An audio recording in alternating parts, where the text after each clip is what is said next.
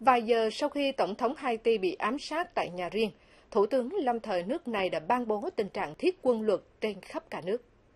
Trong tuyên bố ngày 7 tháng 7, Thủ tướng Claude Joseph cũng công bố quyết định tổ chức cuộc họp Hội đồng Bộ trưởng Bất thường để thảo luận về tình hình đất nước. Ông kêu gọi cộng đồng quốc tế mở cuộc điều tra về vụ ám sát và Hội đồng Bảo an Liên Hợp Quốc nhóm họp về tình hình tại Haiti trong thời gian sớm nhất có thể. Ngay sau vụ ám sát, sân bay quốc tế tại thủ đô Haiti đã đóng cửa. Cộng hòa Dominica đã đóng cửa biên giới với Haiti. Nhiều lãnh đạo quốc tế đã lên tiếng chỉ trích vụ tấn công và bày tỏ quan ngại về tình hình tại Haiti.